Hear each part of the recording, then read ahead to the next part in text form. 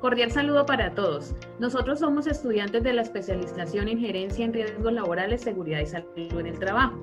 El día de hoy queremos hacerle presentación de nuestro proyecto de grado, el cual se denomina Determinación de la exposición de vibraciones mano, brazo y cuerpo entero en trabajadores de una empresa del sector construcción en Girón Santander.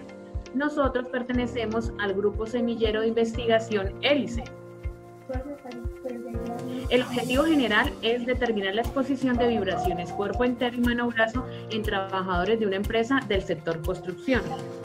Damos paso a los objetivos específicos que son, uno, Identificar las condiciones de trabajo en la operación de las diferentes máquinas o herramientas que generan vibración. 2. Evaluar las vibraciones cuerpo entero y mano-brazo en trabajadores. 3. Proponer medidas de intervención a la exposición de vibraciones mecánica cuerpo entero.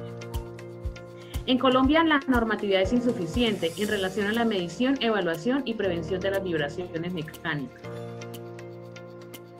Dentro de la metodología se plantea un tipo de investigación descriptivo con un enfoque mixto, un diseño de campo cuasi experimental y la delimitación es la obra Santa María del Camino en el municipio de Girón Santander. Asimismo tenemos una muestra de tipo intencional la técnica de recolección consta de un instrumento de recolección de datos y una medición de higiene. Asimismo, las técnicas de análisis son método Monte Carlo para tabulación de encuestas y eh, legislación internacional. Dentro del desarrollo de los objetivos se consta de tres fases. En la fase número uno es la identificación de las condiciones de trabajo y la tabulación de las encuestas. La fase número 2, que es evaluación, es la medición de la exposición a las vibraciones de los trabajadores. Y en la fase 3 es una propuesta de mejora encaminada a la prevención y la salud de los trabajadores. Dentro de los resultados que encontramos, podemos apreciar que las vibraciones mecánicas cuerpo entero son las que sufren mayor afectación en los trabajadores de la obra.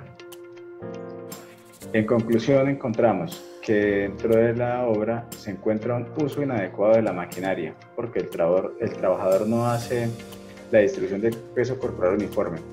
Hay una necesidad de proporcionar recursos de parte de la alta gerencia, encontramos posturas prolongadas y encontramos que hay ausencia de capacitación para el manejo de esas herramientas y equipos.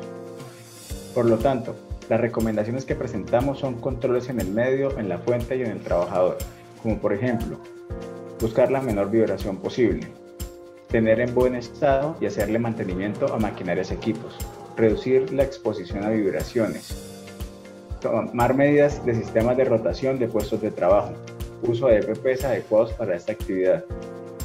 Muchísimas gracias, hemos sido el semillero Erici.